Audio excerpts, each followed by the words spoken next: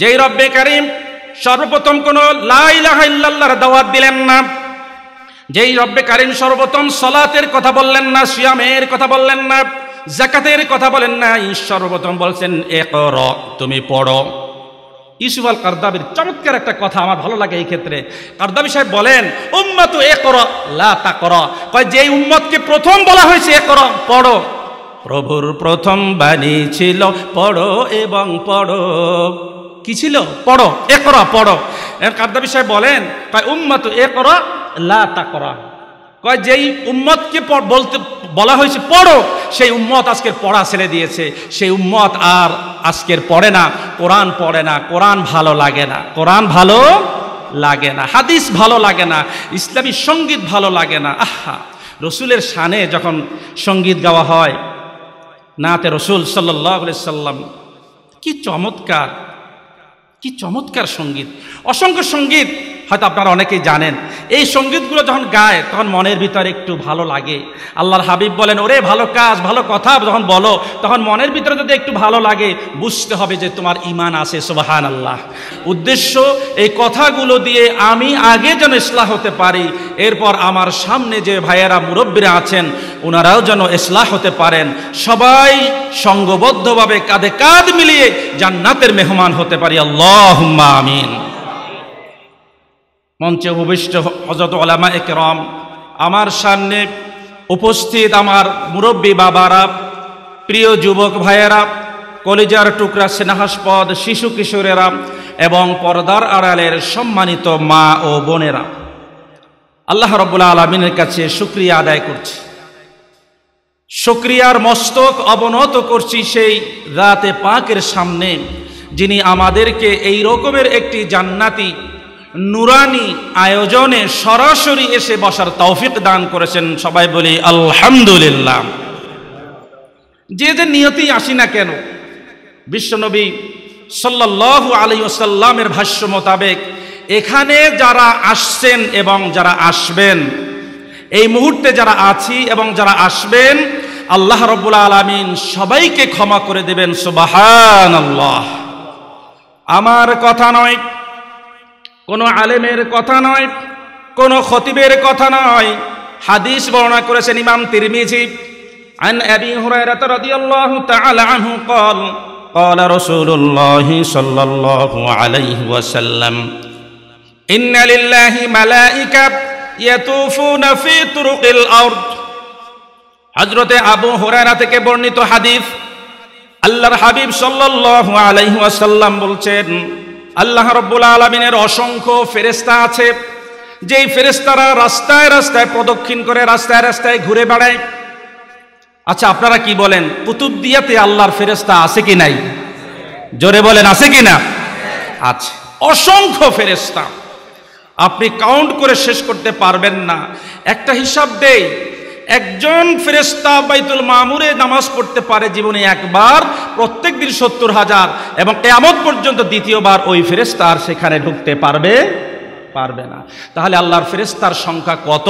একজন জানেন, চিল্লায় বলেন, তিনি কে?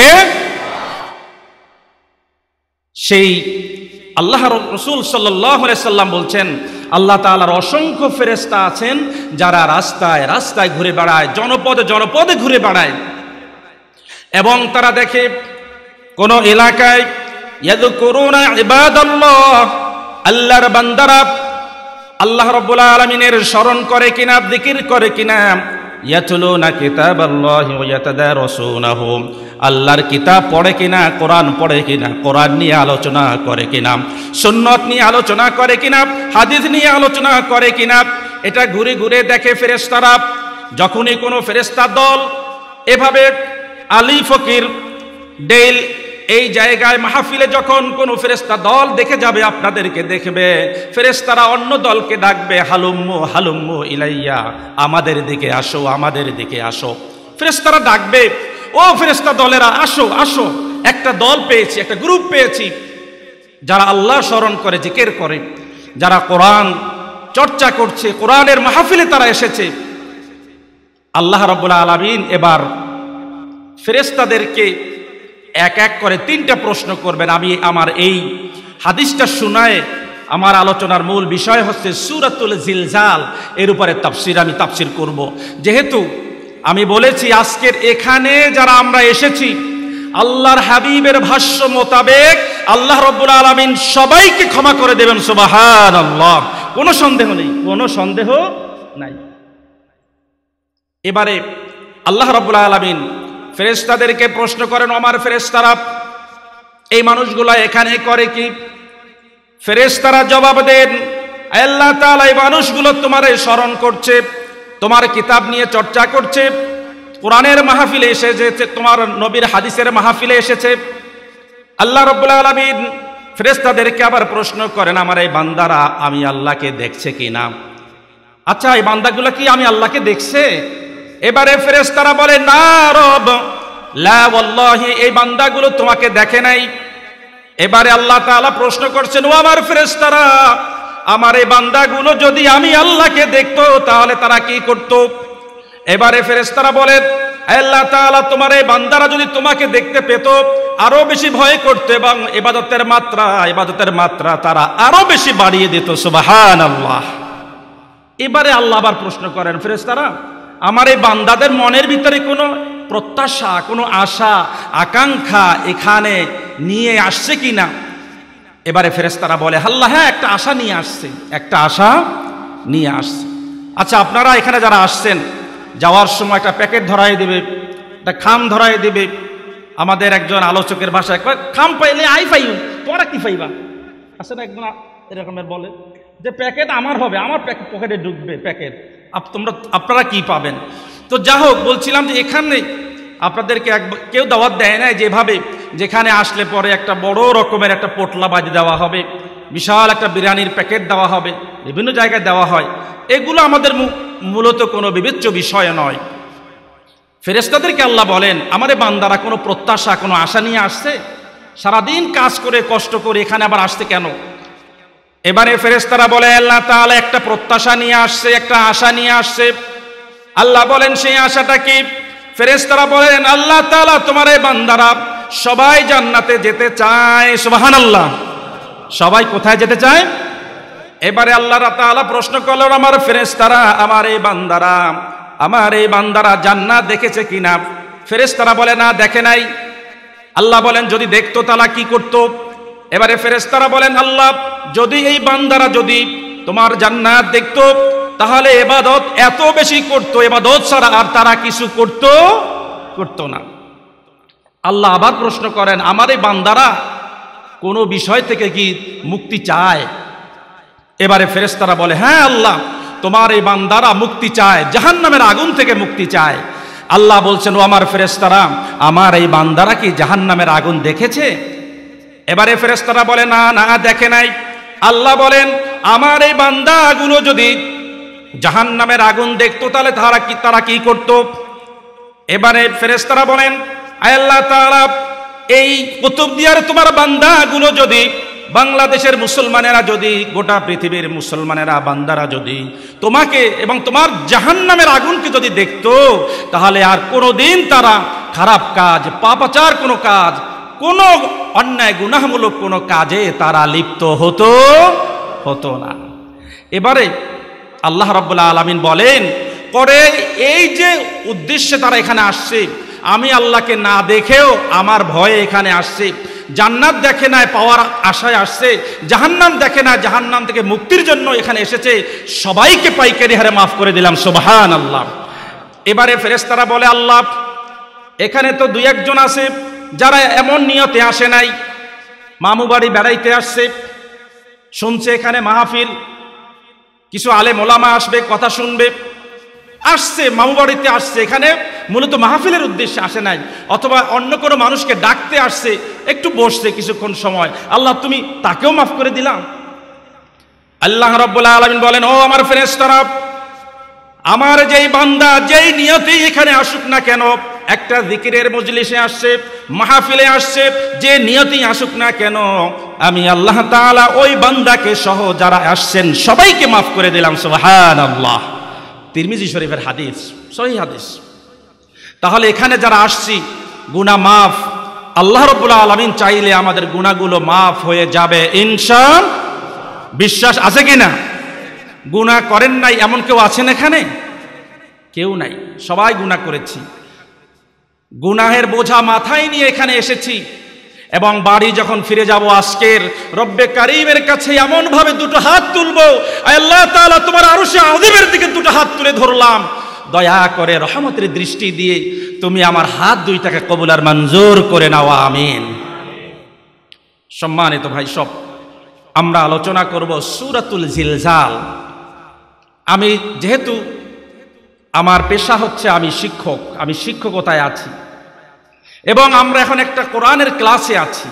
তার মানে এ নয় যে আমি শিক্ষক, আপনারা সবাই ছাত্র। তবে কোরআনের ছাত্র আমি সহ আমরা সবাই একেবারে মৃত্যু পর্যন্ত হতে রাজি আছি কি নাই?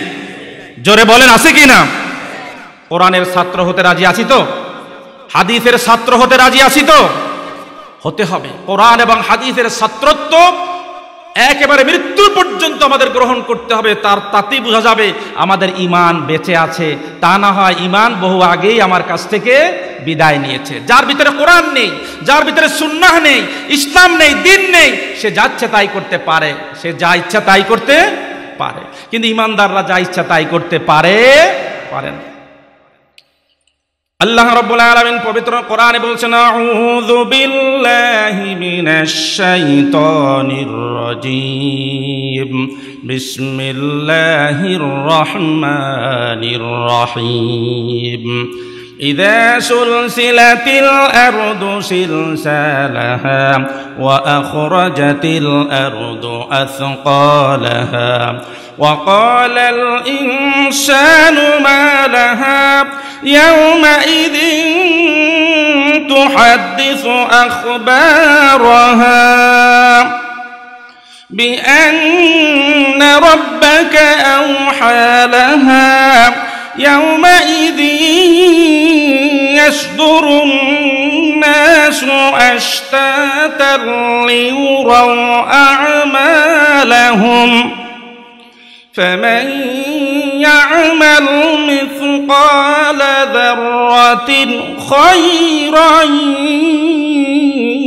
يره ومن يعمل مثقال ذرة شرا يره صدق الله العظيم سورة الزلزال এটা এখানে যারা আছি, আমি বিশ্বাস করি আপনাদের চেহারার দিকে তাকিয়ে এই তৌহিদি জনগোষ্ঠী এখানে যারা আছেন, সংগ্রামী তৌহিদবাদী ভাইয়েরা এখানে মুরব্বীরা যারা আছেন, সুরাতুল জিলজাল একবার নয়, বহুবার আমরা কোরআন থেকে পড়েছি। কথা ঠিক কিনা বলেন? আল্লাহ তৌফিক দিলে সুরা জিলজালের উপরে কিছু কথা বলব ইনশা আল্লাহ আচ্ছা আমার কাছে, আমাকে আপনারা উত্তর দেন। পবিত্র কোরআনে টোটাল সুরা কয়টা? একটু সবাই বলেন কয়টা? একশো চোদ্দটা সুরার ভিতরে সিরিয়াল্লি নিরানব্বইতম সুরা হচ্ছে সুরাতুল জিলজাল, নাইনটি নাইন। ডাবল ডিজিটের সর্বশেষ ডিজিট নাইনটি নাইন। মনে রাখবেন, আবার জিজ্ঞেস করব কিন্তু এটা অনেকটা দর্শক কোরআনের মতো হবে। নিরানব্বই তম সুরার নাম হচ্ছে সুরাতুল জিলজাল। টোটাল আয়াত সংখ্যা হচ্ছে আটটি। কয়টি? আটটি। এই সুরাটি হচ্ছে রসুল আরবি সাল্লাহ সাল্লামের মক্কি জিন্দেগির সুরা, তার মানে মাক্কি সুরা। কি সুরা? মাক্কি সুরা। টোটাল রুকু সংখ্যা একটি। কয়টি? তার মানে নিরানব্বইতম সুরা, রুকু একটি, আয়াত সংখ্যা আটটি, এবং সুরাটা নাজিল হয়েছে মাদিনায় নাকি মক্কায়? মক্কায়। মক্কি সুরার কিছু বৈশিষ্ট্য আছে। মক্কি সুরাগুলোর দিকে আপনারা তাকান, দেখবেন সেখানে তৌহিদ নিয়ে কথা বলা হয়েছে, না হয় রেসালত নিয়ে কথা বলা হয়েছে, না হয় আখেরাত নিয়ে কথা বলা হয়েছে। মৌলিক বিষয়গুলো নিয়ে কথা বলা হয়েছে মক্কি সুরার ভিতরে। মক্কি সুরার আয়াতগুলো ছোট ছোট, আয়াতগুলো ছোট ছোট। এই যে ছোট্ট ছোট্ট আটটা আয়াত, কেমন আয়াত? বিশ্বনবী সাল্লাহ সাল্লামের একজন সাহাবি, আতারজলুন ইলা النبي صلى الله عليه وسلم হজরতে আবদুল্লেবনে আমর থেকে বর্ণিত হাদিস বিশ্ব নবী সাল্লাল্লাহু আলাইহি ওয়াসাল্লামের কাছে একজন ব্যক্তি এসেছেন বিশ্ব নবীর কাছে এসে বলেন আকরে ইনিয়া মুহাম্মদ ইয়া রাসূলুল্লাহ নবী হে আপনি কোরআন থেকে আমাকে কিছু পড়ে শোনান কোরআন থেকে আমাকে কিছু পড়ে শোনান মনে করেন আপনাদের কেউ যদি একজন আসেন হুজুরের কাছে হুজুর আমার একটু কোরআন একটু পড়ে শোনা এখন হুজুর কি বলতেছেন? আমাদের হুজুর সাল্লাম কি বলতেছেন ওই ব্যক্তিকে? বলছেন একর সালাসান আলিফ লাম র। ও ব্যক্তি, ও আমার উম্মত, তুমি পবিত্র কোরআনে তিনটা সুরার শুরুতে আলিফলাম র আছে, তুমি সেই তিনটা সুরা পড়ো। এবারে লোকটি বললেন অল্লাহ মুসিন নুসিন, আমার বয়স হয়েছে, আমি একটু বুড়া হয়েছি। বুড়া হয়েছি শুধু তাই নয়, গলাদা লিসানি, আমার জিব্বাটাও একটু মোটা হয়ে গেছে। ছোট সময় জিব্বা কণ্ঠ যেভাবে চিকন থাকে শার্প থাকে, বয়স বাড়ার সাথে সাথে মানুষের কণ্ঠটা একটু মোটা হয়ে যায় জিব্বাটা একটু মোটা হয়ে যায়। এবারে মুরব্বী বললেন, ইয়া রসুল আল্লাহ ইয়া হাবিব আল্লাহ কাবুরা সিন্নি, আমার একটু বয়স হয়ে গেছে, আমি বৃদ্ধ হয়ে গেছি, আবার মুখের জিব্বাটাও একটু মোটা হয়েছে, কণ্ঠস্বরটা মোটা হয়ে গেছে, আমি তো পড়তে পারি না, আমি পড়তে পারি না। এবারে বিশ্ব নবী বললেন, তুমি যদি পড়তে না পারো তাহলে হামিম। এই হরফে মুকত্তা দিয়ে যেই সুরাগুলো নাজিল হয়েছে, সেই সুরাগুলো পড়ো। একই কথা বললেন, ইয়া রাসূলুল্লাহ, বয়স হয়েছে বয়স হয়েছে। আবার জিব্বা মোটা হয়ে গেছে, আমি পড়তে পারি না, আমি পড়তে পারব না। এবারে আল্লাহর হাবিব বললেন, তাহলে তাসবিহাত দিয়ে, অর্থাৎ ইউসাব্বিহু লিল্লাহি মা ফিস সামাওয়াতি ওয়া মা ফিল আরদ, পাঁচটা সূরা নাজিল হয়েছে, এই আয়াত দিয়ে ইউসাব্বিহু দিয়ে, তাহলে এই সূরাগুলো পড়ো। এই সূরা সূরাগুলো পড়ো। এবারে একই উত্তর আবার বিরুদ্ধ দিলেন, ইয়া রাসূলুল্লাহ, বয়স হয়েছে জিব্বা মোটা হয়েছে, কণ্ঠস্বর মোটা হয়ে গেছে, আমি পড়তে পারি না, আমি পড়তে পারি পারি না। এবারে বিশ্ব নবী সাল্লাল্লাহু আলাইহি ওয়াসাল্লাম ওই ব্যক্তিকে বললেন, তাহলে শোনো, তোমাকে আমি একটা জামে মানে ছোট্ট সুরা, কিন্তু সুরার অর্থ বড় ব্যাপক। এই সুরা যদি তুমি আত্মস্থ করতে পারো, দুনিয়াতেও তুমি পাপ মুক্ত হয়ে বসবাস করতে পারবা এবং দুনিয়া পরবর্তী বিশাল একটা জিন্দিগি, সেই জিন্দিগিতে তুমি কামিয়াবি অর্জন করতে পারবা সুবাহান আল্লাহ দুনিয়ার পরে আর একটা জগৎ আমাদের আছে কিনা বলেন? আছে কিনা? আচ্ছা। পৃথিবী আমার আসল ঠিকানা নয়। মরণে কে দিন মুছে দিবে। সকল রঙ্গিন পরিচয়, পৃথিবী আমার আসল ঠিকানা নয়।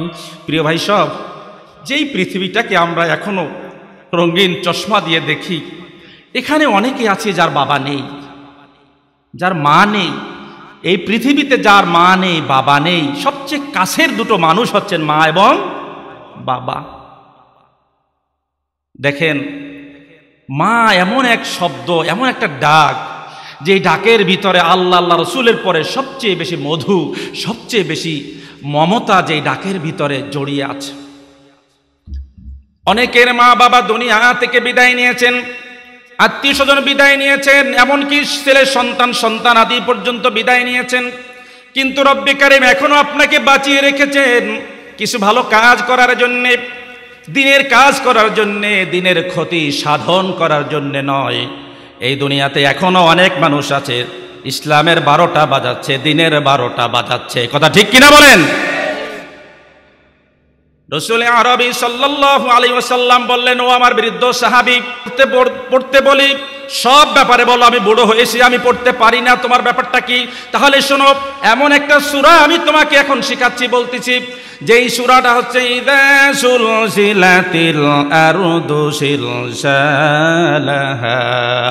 এই সূরাটা বিশ্ব নবী সাল্লাল্লাহু আলাইহি ওয়াসাল্লাম বললেন, এমনকি এই সূরা পাঠ করে যখন বিশ্ব নবী যখন শেষ করলেন। তখন রসুল আরবি সাল্লাহ এর এই সাহাবি বললেন, ইয়া রসুল আল্লাহ আমি যা শুনেছি তার থেকে বাড়াবো না এবং কমাবো না। অর্থাৎ এই সুরাটা ভালো মতো আত্মস্থ করব। এই কথা বলে বৃদ্ধ সাহাবি চলে যাচ্ছেন। অন্য সাহাবিদের মাধ্যমে বিশ্বনবী ওই বৃদ্ধ সাহাবিকে আবার ডাকালেন, ও সাহাবি, এদিকে আসো এদিকে আসো। কথা আরও কিছু বাকি আছে, আরও কিছু বাকি আছে। এবারে বিশ্বনবী সাল্লাল্লাহু আলাইহি ওয়াসাল্লাম বলছেন, ও আমার সাহাবী, তুমি যেই সুরাটা শিখে গেলা, আমি যেই সুরাটা তোমাকে বললাম, অর্থাৎ সুরাতুল জিলজাল, এটি হচ্ছে পবিত্র কোরআন, অর্ধেক পাঠ করলে যেই সওয়াব পাইতা সম পরিমাণ সওয়াব আল্লাহ রাব্বুল আলামিন তোমাকে সুরাতুল জিলজাল পড়ার কারণে দান করবেন। সুবহানাল্লাহ! আপনি পড়বেন ইজাজুল জিলাতিল আরদু জিলজালাহা আটটা আয়াত। আমার নবীজি বলেন, পুরা কোরআনের অর্ধেক পড়লে যে সওয়াব, গোটা কোরআনের অর্ধেকের সব আল্লাহ রব্বুল আলমিন আপনার আমল নামায় লিখে দেবেন সুবাহান আল্লাহ কয় আরও কিছু শিখাই। কয়, তুমি কি আল্লাহু আহাদ পারো কিনা? কয় হ্যাঁ। কয়, এটা হচ্ছে সুলুসুল কোরআন। কোরআনের তিন ভাগের এক ভাগ পড়লে যেই সওয়াব, এই উলহু আল্লাহ শরীফ পড়লে, এই সুরাটা পড়লে সমপরিমাণ সওয়াব। আবার বলছেন, তুমি কি কুলিয়া ইউল কাফিরুন? পারো কিনা? কয় হ্যাঁ পারি। কয়, এটা যদি পড়ো রুবুল কোরআন, কোরআনের এক চার চতুর্থাংশ, চার ভাগের এক ভাগ পড়লে পরে যেই সওয়াব পাইতা কুলিয়া ইউল কাফিরুন। সূরায় কাফিরুন পড়লে সম পরিমাণ সওয়াব, রব্বে কারীম তোমার আমল নামায় দিয়ে দেবেন। সুবহানাল্লাহ। কি স্বভাব দেখেন? পড়তে আমরা হয়তো পারি এগুলো সোরা, কিন্তু আমরা পড়ি না। আমরা পড়ি না।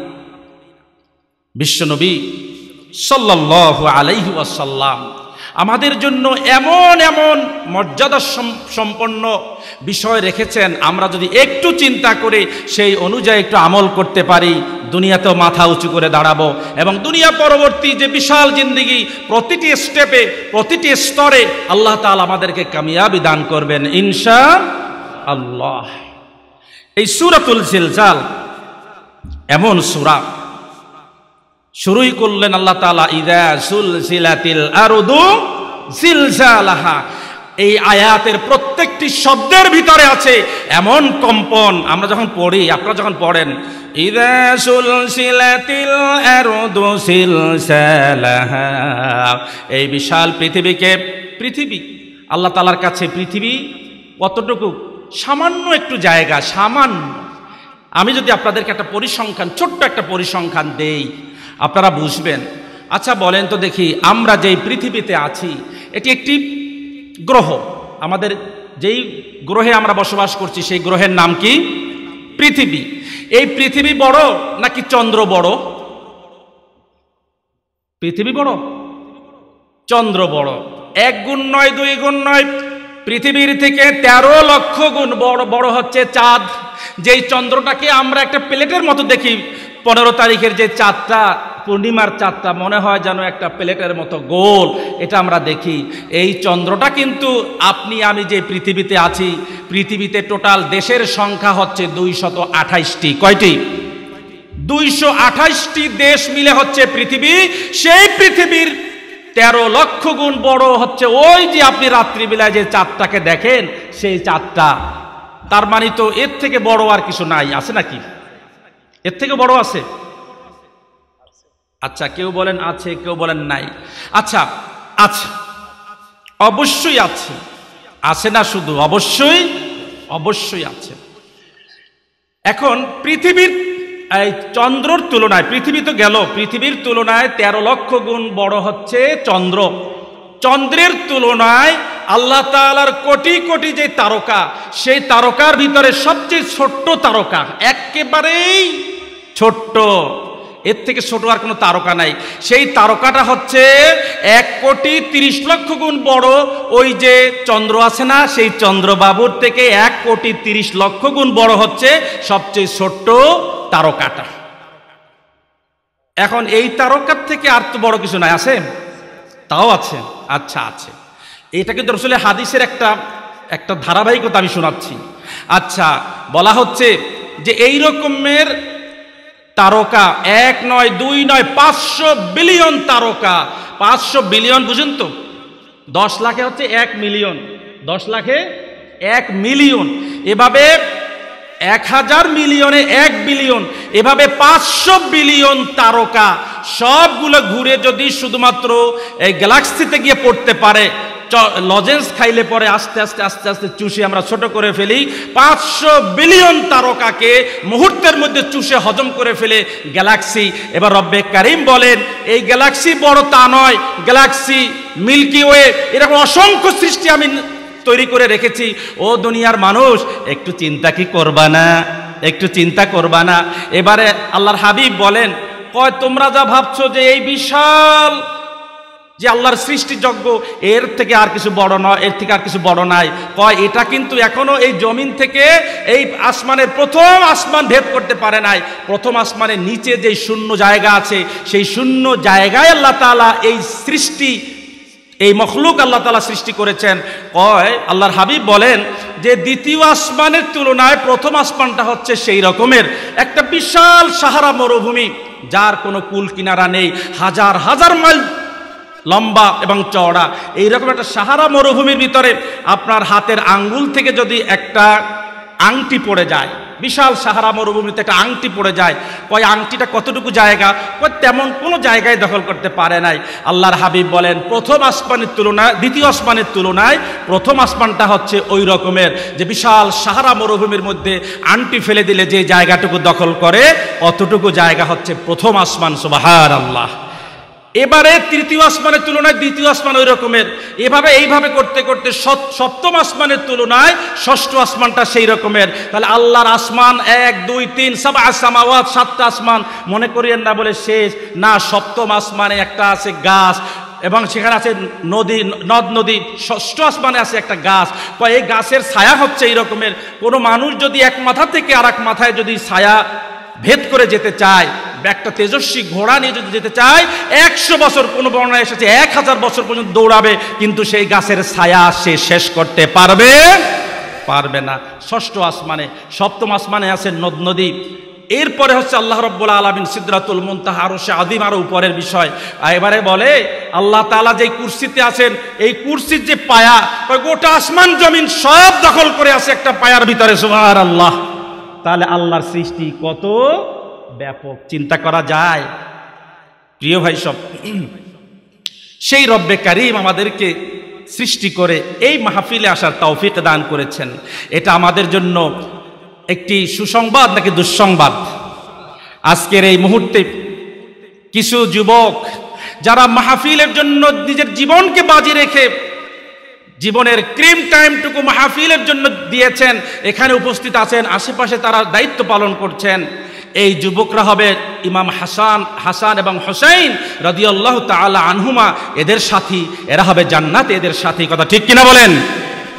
আবার কিছু যুবক এখন আজকের ফিফা ওয়ার্ল্ড কাপ কাতারে চলছে, টেলিভিশনের সামনে। কিছু যুবক এখন বসে আছে খেলা দেখার জন্য, আছে কি নাই? জোরে বলেন। এদের জায়গা কি জান্নাত নাকি অন্য জায়গায়? আমি বলছি না জাহান্নাম, আমি তাদের জন্য দোয়া করছি, ওনারা দ্রুত চলে আসবেন। মাইকের আওয়াজ যাদের কাছে যায়, জান্নাতি একটা প্রোগ্রামে আমরা আছি। ও যুবক, ফিফা ওয়ার্ল্ড কাপ, হয়তো তুমি লাইভ দেখতে পারছ না। এখন ইউটিউবে তুমি চাইলে কালকের সকালে সকালে না, রাত্রেই খেলা দুই এক ঘণ্টা পরেই এগুলো আপলোড দেওয়া হয়। তুমি ইউটিউবে পরে দেখে নিও, যদি দেখতেই হয়। ওগুলো দেখার ভিতরে কোনো ফায়দা নেই। আমরা ছুটছি দুনিয়ার পিছনে। কেউ ফিফা ওয়ার্ল্ড কাপ দেখছি, কেউ বা বাংলাদেশে এখন ক্রিকেট খেলা হচ্ছে, তিন তিন ম্যাচের ওয়ান ডে ম্যাচ হচ্ছে ইন্ডিয়া থেকে খেলোয়াড়রা আসছে। আমি নিজেও কালকের চট্টগ্রাম শহরে একটু বের হয়েছিলাম, হঠাৎ করে দেখি যে গোটা রাস্তা খালি এবং সাইরেন বাসতেছে আগে পিছিয়ে ওমার দুইটা গাড়ি এসি গাড়ি, বড় গাড়ি, সামনের গাড়িতে বাংলাদেশের প্লেয়াররা এবং পিছনের গাড়িতে ইন্ডিয়ার প্লেয়াররা। এবং দেখলাম, আমি তো খেলা টেলা দেখি না তারপরে ছবিতে যা দেখে মনে হচ্ছে বিরাট কোহলি নামক একজন খেলা আছে, খেলোয়াড় আছে কি না আছে আচ্ছা। মোটামুটি অভিজ্ঞতা আছে এখানে, বোঝা গেছে। দাড়িওয়ালা একজন প্লেয়ার চোখে চোখে পড়েছে, আমি পাশেই, পাশ দিয়ে যাচ্ছে। যা হোক, এটা আমার কাছে কোনো বিবেচ্য বিষয় না, নয়। বাংলাদেশ ওয়ান ডেতে সিরিজ জিতেছে, আলহামদুলিল্লাহ এটা ভালো ভালো হয়েছে যে আমরা জিতেছি, আলহামদুলিল্লাহ। কিন্তু বাংলাদেশের দামাল ছেলেরা, তাকরিমেরা নাজবুল সাকিবেরা এবং এই রকমের অন্যান্য হাফেজরা তখন একশো এগারোটা, একশো পনেরোটা দেশের ভিতরে এক নম্বরের স্থান ছিনিয়ে আনে, বাংলাদেশের ভাব মূর্তিকে যখন সর্বোচ্চ স্বর্ণ শিখরে নিয়ে যায় তখন সেই হাফেজদের জন্য যে পরিমাণে সংবর্ধনা দেওয়া দরকার ছিল, লাল গোলাপ শুভেচ্ছা এবং তাদেরকে এই গালিচা পিছানো দরকার ছিল, এই কোরআনকে প্রমোট করা দরকার ছিল, আমাদের সে জাতের প্রমোট আমরা দায়িত্বশীল পর্যায়ে থেকে, দায়িত্বশীলদের কাছ থেকে আমরা পাই না, কথা ঠিক কিনা বলেন? ক্রিকেটের একটা ম্যাচ জিতলে পরে সর্বোচ্চ পর্ষদ থেকে পুরস্কার ঘোষণা করা হয়, অমুক জায়গা থেকে পুরস্কার ঘোষণা করা হয়, কিন্তু তাকরিম নাজমুস সাকিবরা যখন ফার্স্ট হয় সেকেন্ড হয় থার্ড হয়, গোড়া পৃথিবীতে বাংলাদেশের মান বৃদ্ধি করে, তখন তাদের জন্য কেন পুরস্কার ঘোষণা হবে না কথা ঠিক কিনা বলেন? বাংলাদেশের অসংখ্য হেফজ মাদ্রাসা আছে, এই হাফেজরা যত বেশি হাফেজ বাংলাদেশে বের হবে, এই সমাজটা সোনার সমাজে পরিণত হবে। আমরা যে সোনার বাংলাদেশ গড়তে চাই, এগুলা তথাকথিত। আমি, তুমি, এগুলা দিয়ে হবে না। এগুলো তথাকথিত শিক্ষা দিয়ে হবে না। এগুলো কোরআনের শিক্ষা দিয়ে এই সোনার দেশ গড়তে হবে, সোনার বাংলাদেশ গড়তে হবে, সোনার টুকরার মানুষ তৈরি করতে হবে, কথা ঠিক কিনা বলেন? সম্মানিত ভাই সব, সুরাতুল জিলজাল। রব্বে করিম বলছেন আরদু জিলজালাহা ওয়া আখরাজাতিল আরদু আসকালাহা আল্লাহ রাব্বুল আলামিনের শব্দ চয়ন দেখেন, যখন পৃথিবীকে প্রচণ্ড আকারে কম্পন দেওয়া হবে, যখন প্রচণ্ড আকারে ধাক্কা দেওয়া হবে, কেমন ধাক্কা? একটার উপরে একটা আকাশ থুবড়ে পড়বে, আল্লাহ রাব্বুল আলামিন বলছেন, ইয়াউমা নাতুবিস সামাআ কাতাইয়িস সিজিল্লি লিল কুতুব। আল্লাহ রাব্বুল আলামিন কি চমৎকার একটা উদাহরণ দিয়ে আমাদেরকে বুঝাচ্ছেন কোরআনের ভিতরে, ও দুনিয়ার মাসু মানুষ, তোমরা বই পড়ছো, একটার উপরে একটা পেজ, যেমন এইভাবে তোমরা একটার উপরে পেজ, একটার উপরে পেজ তোমরা এভাবে রাখো, একটার উপরে একটা। এই রকমের আসমান আল্লাহ রব্বুল আলামিন না, একটার উপর একটা ধাক্কা দিয়ে গোটা আসমানকে শেষ করে দিবেন, গোটা জমিনকে শেষ করে দিবেন। ইদা জুলজিলাতিল আরুদু সিলসালাহা। এবং এই ফাইনাল যে ইকামত সংগঠিত হবে, এর আগে রব্বুল আলামিন অসংখ্য আলামত প্রকাশিত করবেন। এর ভিতরে দশটা আলামত হচ্ছে বড় আলামত। সেই আলামতগুলো যখন একটা প্রকাশিত হবে বিশ্বনবী সাল্লাল্লাহু আলাইহি ওয়াসাল্লাম বলছেন, তসবির দানা থেকে একটা দানা যখন ছিঁড়ে যায়, রশি যখন ছিঁড়ে যায়, সুতা যখন ছিঁড়ে যায়, বাকি দানাগুলো কেমনে পড়ে যায়? সাহাবিরা বললেন, একটা পড়লে পরে সাথে সাথে বাকিগুলো এক এক করে সব পড়ে যায়। আল্লাহর হাবিব বলছেন, এই দশটি বড় আলামত, একটা যখন প্রকাশিত হবে, সাথে সাথে একটার পর একটা সব আলামতগুলো প্রকাশিত হবে, তবে সেই আলামতের আগে মাঝারি ধরনের অসংখ্য আলামত আল্লাহ রব্বুল আলামিন প্রকাশিত করবেন। ছোট ছোট আলামত আল্লাহ আগেই প্রকাশিত করেছেন।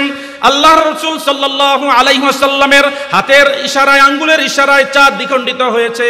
রব্বুল আলামিন আল্লাহর হাবিব সাল্লাল্লাহু আলাইহি সাল্লামের হাতের ইশারায় চাঁদকে দ্বিখণ্ডিত করেছেন। এটা কেয়ামতের দূরবর্তী আলামত। কেয়ামতের আলামত বিশ্ব নবী সাল্লাল্লাহু আলাইহি ওয়াসাল্লামের আগমন। আনাপ আল্লাহর হাবিব সাল্লাল্লাহু আলাইহি ওয়াসাল্লাম বলছেন, আমি এবং কেয়ামত কাহা তাই নেভাবে? কারণ আমি আখিরি নবী, আখিরি রসুল। আমার পরে আর কোনো রসুল আসবেন না, আর কোনো নবী আসবেন না। আসবেন নাকি? আল্লাহর হাবিব সাল্লাল্লাহু আলাইহি ওয়াসাল্লাম দুনিয়া থেকে একটা মানুষ যেভাবে বিদায় নেয়, সেভাবে বিদায় নিয়েছেন।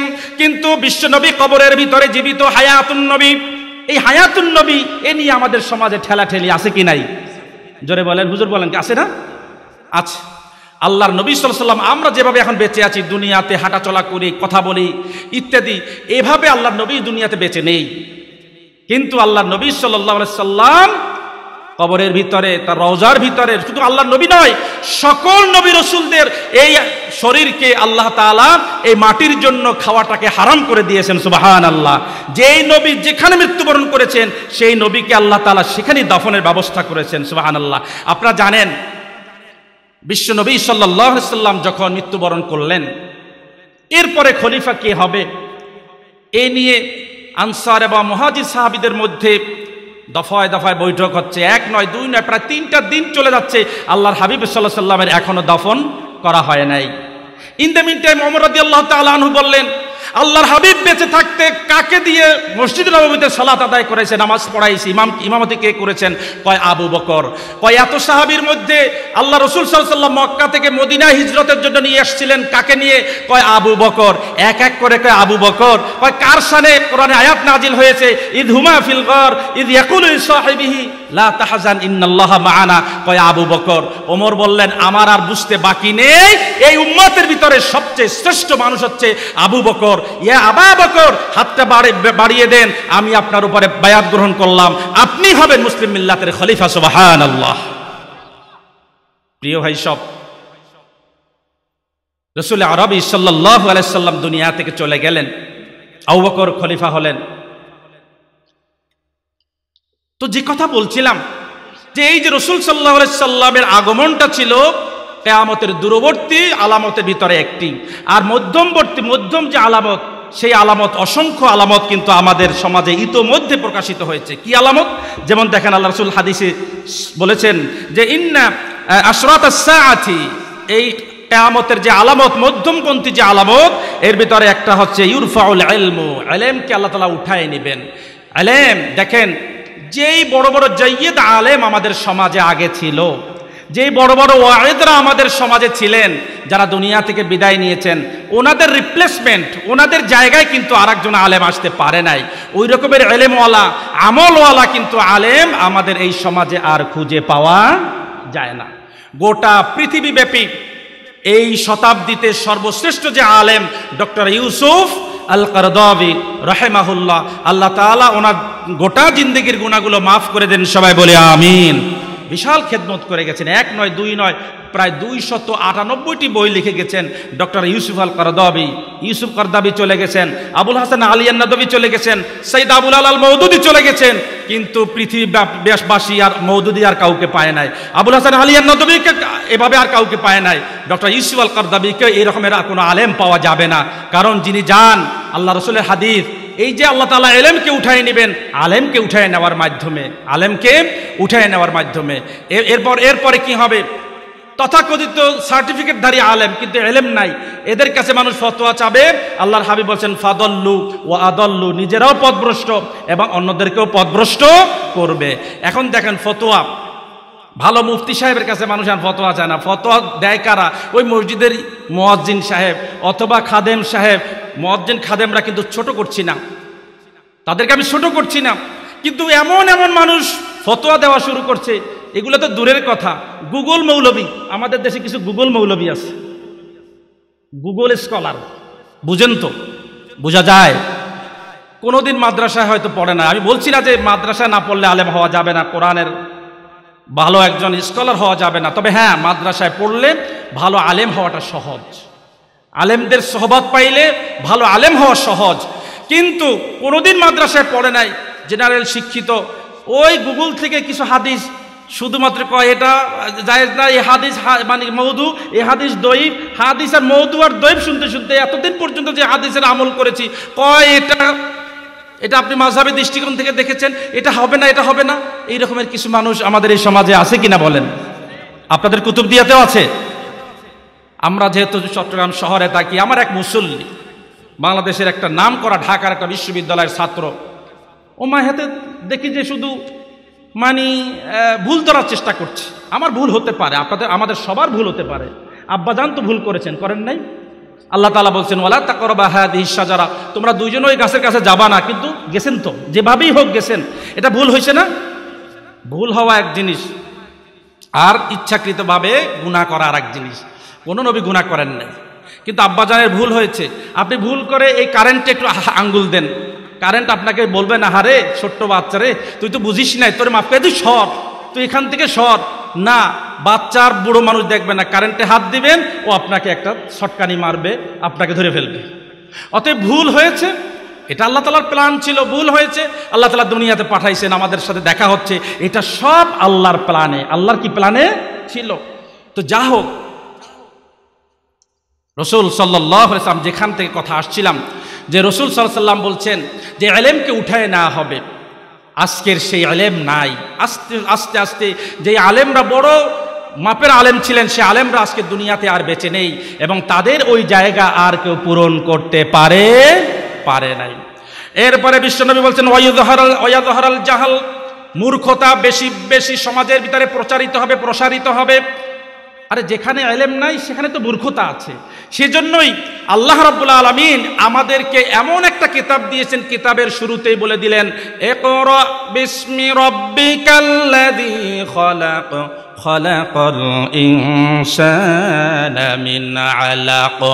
যেই রব্বে কারিম সর্বপ্রথম কোনো লাইলাহার দাওয়াত দিলেন না। যেই রব্বে কারিম সর্বপ্রথম সলাতের কথা বললেন না, সিয়ামের কথা বললেন না। জাকাতের কথা বলেন না সর্বপ্রথম বলছেন এ কর তুমি পড়ো। ইসুফ আল কারদাবির চমৎকার একটা কথা আমার ভালো লাগে এই ক্ষেত্রে। কারদাবি সাহেব বলেন, উম্মত এ কর লা তা কর কয় যে উম্মতকে প্রথম বলা হয়েছে এ কর পড়ো। প্রভুর প্রথম বাণী ছিল, পড়ো এবং পড়ো। কি ছিল? পড়ো এ কর পড়ো কারদাবি সাহেব বলেন, কয়, উম্মত এ কর লা তা করা কয়, যেই উম্মতকে বলতে বলা হয়েছে, পড়ো। সেই উম্মত আজকের পড়া ছেড়ে দিয়েছে। সেই উম্মত আর আজকের পড়ে না। কোরআন পড়ে না। কোরআন ভালো লাগে না। কোরআন ভালো লাগে না। হাদিস ভালো লাগে না। ইসলামী সংগীত ভালো লাগে না। আহা! রসুলের শানে যখন সংগীত গাওয়া হয়, নাতে রসুল সাল্লাহ সাল্লাম, কি চমৎকার কি চমৎকার সংগীত। অসংখ্য সংগীত হয়তো আপনারা অনেকেই জানেন। এই সঙ্গীতগুলো যখন গায়, তখন মনের ভিতরে একটু ভালো লাগে। আল্লাহর হাবিব বলেন, ওরে, ভালো কাজ, ভালো কথা যখন বলো, তখন মনের ভিতরে যদি একটু ভালো লাগে, বুঝতে হবে যে তোমার ইমান আছে সোবাহান আল্লাহ আবার খারাপ কাজ করলে যদি মনের ভিতরে ধাক্কা দেয়, আরে, আমি এটা খারাপ কাজ করে ফেলেছি, বুঝতে হবে তোমার ইমান আছে সোবাহান আল্লাহ তাহলে কেয়ামতের মধ্যম যে আলামত, সেটা হচ্ছে মূর্খতা, ব্যাপক আকারের সমাজের ভিতরে ছড়িয়ে পড়বে, মূর্খতা মূর্খতা। আজকের আমরা মুসলমানেরা না কোরআন নিয়ে আসি, না হাদিস নিয়ে আসি, না তথাকথিত আমাদের জাগতিক যে জ্ঞান, আজকে নোবেল বিজয়ী লরিয়েট কারা হয়? আজকে নূতন নূতন ইনভেনশন নিউ ইনভেনশন কারা করে? ইনভেন্টরি মানসিকতা নিয়ে কারা রিসার্চ করে? সব অমুসলিমরা। আর মুসলমানরা এখনও আছি, হাত, পয়া এইভাবে কান পর্যন্ত উঠাবো, হাতকে বুকের উপর বাঁধবো, না নাবিন নিচে বাঁধবো, আমিন জোরে বলব না আসতে বলব।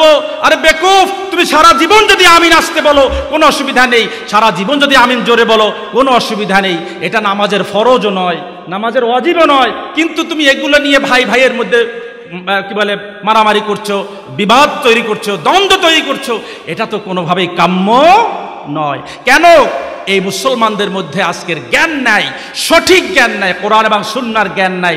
যদি থাকতো, মুসলমানরা আজকের ঐক্য ঐক্যবদ্ধভাবে কোরআন, সুন্নাকে আঁকড়ে ধরে অবশ্যই বাংলার ছাপ্পান্ন হাজার বর্গ মাইলকে, প্রতিটি ইঞ্চি জমিনকে, যে জমিনের স্রষ্টা, যে জমিন এর স্রষ্টা আমাদেরকে জমিন দিয়েছেন, সেই স্রষ্টার বিধিবিধান এই সমাজে কায়েম হতো। কথা ঠিক কিনা বলেন? দেখেন রসুল্লাহ সাল্লাহ আলী আসাল্লাম কি চমৎকার একটা কথা বলছেন। এই সুরার আমি একটা প্রসঙ্গক্রমে বলছি। এই সুরার মাঝখানে আল্লাহ তালা বলছেন এই যে পৃথিবী, এই পৃথিবী সূচনা লগ্ন থেকে একটা প্রথম যেই ব্যক্তি মারা গেছেন এবং কেমতে লক্ষ কোটি মানুষ মারা যাবেন, সবাইকে এই পৃথিবী আবার উদ্গীরণ করবে, আবার উদ্গীরণ করবে এবং পৃথিবীর নিচে যত মানুষ দাফন হয়েছিল, সবগুলোকে, সব মানুষকে পৃথিবী বের করে দিবে। সব মানুষকে পৃথিবী বের করে দিবে। শুধু তাই নয় তাই নয়, বিশ্ব নবী সাল্লাল্লাহু আলাইহি ওয়াসাল্লাম বলছেন, বিভিন্ন দেশে যে তোমরা স্বর্ণের খনি দেখো, সৌদি আরবে স্বর্ণের খনি আছে কিনা বলেন? আরও বিভিন্ন আরব কান্ট্রিতে আছে কিনা? এবং তোমরা যে রৌপ্যের খনি দেখছ, আল্লাহর হাবিব বলছেন, সেই কেয়ামতের দিন বিবি শিকাময় সেই দিন। আল্লাহ তাআলা সব লণ্ডভণ্ড করে দিয়ে আবার যখন উঠাবেন, ওই স্বর্ণের খনিগুলোকে, ওই স্বর্ণের খনিগুলোকে আল্লাহ রব্বুল আলমিন উঠাবেন রৌপ্যের খনিগুলোকে আল্লাহ রব্বুল আলমিন উঠাবেন। শুধু উঠাবেন তাই নয়, স্বর্ণের খনিগুলোকে বড় বড় পিলার আকারে আল্লাহ তালা সৃষ্টি করে রাখবেন। এবং এক এক করে মানুষ বলবে, আয় আল্লাহ তালা আমি তো দুনিয়ার জীবনে অসংখ্য মানুষকে হত্যা করেছি এই কারণে যে আমি বড় ধন সম্পদওয়ালা হব, আমি বড় সম্পদশালী হব, দুনিয়ার বাদশাহী আমি হব, দুনিয়ার চেয়ারটা আমার কাছে আমার জন্য অক্ষুণ্ণ রাখতে হবে। আয় আল্লাহ তালা এই জন্যই তো আমি দুনিয়াতে অসংখ্য মানুষকে হত্যা করেছি। এবারে আত্মীয়তার সম্পর্ক ছিন্নকারী বলবে রব্বুল আলামিন। ব্যবসার পিছনে ছুটতে গিয়ে, ব্যবসার পিছনে ছুটতে গিয়ে আমার সময় ছিল না খালার কাছে ফোন করতে, ফুফির কাছে ফোন করতে। আমার আত্মীয় স্বজনের খোঁজ খবর নেওয়ার জন্য আমার সময় ছিল না। বছরের পর বছর চলে যায় কিন্তু আমি আমার আত্মীয় স্বজনের খবর নিতে পারি নাই। এই সম্পদ অর্জনের জন্যই তো হলো সেই সম্পদ। সেই সম্পদ আজকের জমিন থেকে সব উঠানো হলো। আল্লাহ এই জন্যই তো আমি আত্মীয়তার সম্পর্ক ছিন্ন করেছিলাম। এরপরে এমন একজন ব্যক্তিকে আনা হবে, যেই ব্যক্তি ফায়াকুল সারেকো, চোর। চোর বলবে, আল্লাহ তাআলা, আমি তো চুরি করেছিলাম এই কারণে। আমি তো অমুকের বাড়ি কি বাড়িতে গিয়ে তার সম্পদ চুরি করেছিলাম। এই দুনিয়াতে আরও বেশি সম্পদের মালিক হব বলে আমি তো ব্যবসার ভিতরে চুরি করেছিলাম। আমি ব্যবসার ভিতরে যখন আমি পাইকারি দোকান থেকে নিয়ে এসেছি, কোনো পণ্য একেবারে বরাবর আমি মেপে এনেছি, বরং একটু বাড়ায় এনেছি। কিন্তু যখন খুচরা বিক্রি করি, তখন তো আমি কম দিয়েছি, চুরি করেছি। এ জাতের ডাকাত মার্কা ব্যবসায়ী আমাদের এই সমাজে আছে কি না আছে কিনা বলেন? ব্যবসায়ী ভাইরা রাগ করিয়েন না। আপনাদের জন্য যেমন সুসংবাদ আল্লাহর হাবিব দিয়েছেন আবার আল্লাহ তাআলা আপনাদের জন্য ধমকও দিয়েছেন কঠিন কথা শুনিয়েছেন আল্লাহ শুনিয়েছেন ওয়াইলুল মুতাফফিফিন الذين إذا اكتالوا على الناس يستوفون ওই ব্যবসায়ীদের জন্য ধ্বংস যেই ব্যবসায়ীরা যখন পাইকারি মার্কেট থেকে যখন পণ্য কিনে আনে, পুরোপুরি পণ্য একেবারে হান্ড্রেড হান্ড্রেড পার্সেন্ট নিয়ে আসে, পারলে একটু বাড়ায় নিয়ে আসে।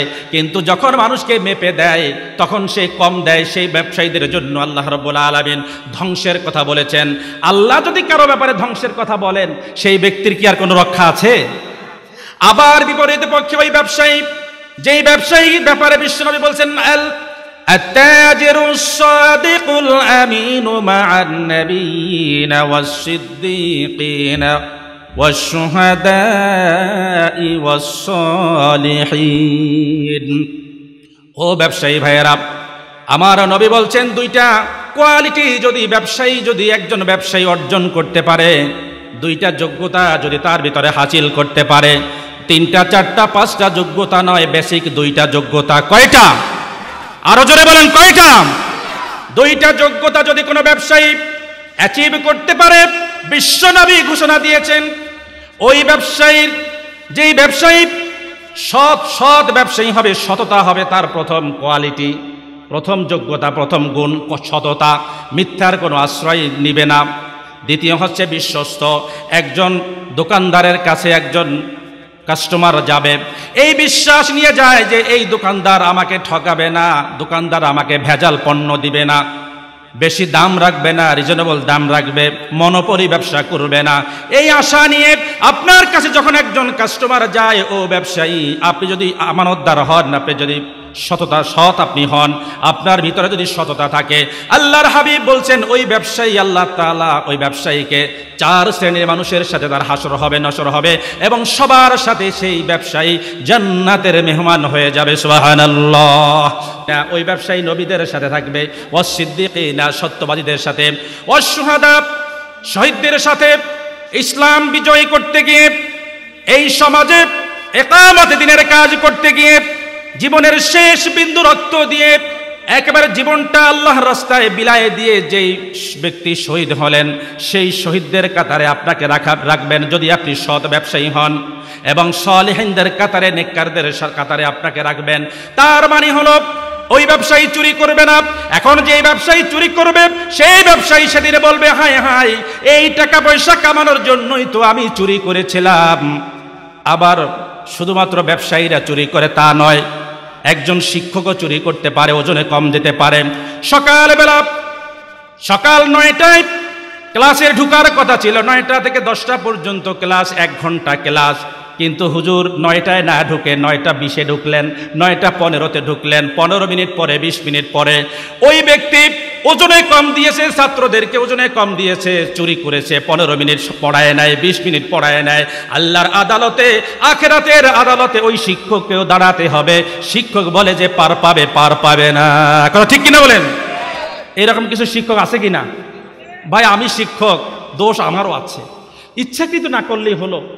ডিপার্টমেন্টের কাজ করতে গিয়ে কিছু দেরি হয়। মিটিংয়ে আছি। তারপরেও ছুটি নিয়ে ক্লাসে যাই। সবার আগে আমার ছাত্র। কারণ যেই পেশায় নিয়োজিত থেকে আমি মাস শেষে একটা বেতন পাই, আমার ছেলে মেয়েদেরকে নিয়ে আমি চলি, আল্লাহ ভালোভাবে চালাচ্ছে অত সেই পেশাটাকে আমি কলুষিত করতে পারি পারি না। এভাবে চোর পাঁচ বছর পর পর মানুষ তার নিজের মতামতটা যাকে খুশি তাকে ভালো মানুষ দেখে দেখে যদি সে ভোট দিতে পারত, কিন্তু সমাজে এমন কিছু ভোট চোর আছে, পাঁচ বছর পরে যখন নির্বাচন হয়, যথাযথভাবে তারা ভোট দিতে পারে না। কথা ঠিক কিনা বলেন? এভাবে কিছু ভোট ডাকাত আছে, চোর তো একটু নিম্নের, আবার ডাকাতরা বাকিদেরকে কয় চোর, কয় ভোট চোর, যে কয় হে বড় ডাকাত, সে কি? ডাকাত আর আরেকজনে কয় চোর। আচ্ছা ডাকাত, আপনারা তো ডাকাত আমি জানি না যে এখানে ডাকাতি আগে হয়েছে কিনা কোনো সময়। এখনও আছে। আচ্ছা না, আমি রিয়ালি বলছি যে চোর এবং ডাকাত দুইটার ভিতর পার্থক্য বোঝার জন্য বলছি। চোর আপনার আপনার দোকান থেকে কিছু জিনিস হয়তো চুরি করে নিয়ে যাবে বা আমরা যারা আগে গ্রামে বড় হয়েছি, আমাদের ঘর ছিল কাঠের ঘর এবং চতুর্দিকে মাটির, আমরা পিড়া বলি, আপনারা কি বলেন কে জানি? কি বলেন ভাই? হ্যাঁ দেওয়াল। আর ভাই দেওয়াল তো হলে কি বলে ইট দিয়ে দেয় আর কি। মাটির দেওয়াল। ওই মাটির দেওয়ালে নিচ দিয়ে আস্তে আস্তে আস্তে আস্তে খুঁজে ঘরের ভিতরে ঢুকে চোর। কয় সিং খুঁজে এই এই, আপনার বাড়ি কোথায়? এড়ে নি কোনো কেন আচ্ছা আপনি মানে শিখেছেন না? তো বলছিলাম তো এই রকমের চোর কিন্তু ডাকাত। সে তো ডাকাতি করবে সে তো আরও ব্যাপক আকারে বড় মাপের এমন কাজ করবে। আপনার মাল তো নিবেই নিবে, এমনকি আপনাকে মেরেও যাবে। এটা যে চোরই হোক না কেন, যে ডাকাতি হোক না কেন, সে বলবে, আরে, এই চেয়ারটাকে দখলে রাখার জন্য, এই চেয়ারটাকে আজীবনে আমার কাছে রাখার জন্য আমি তো অমুক জিনিস চুরি করেছিলাম। আইউবি মিডিয়া অপসংস্কৃতি মুক্ত আধুনিক ভিডিও সেন্টার।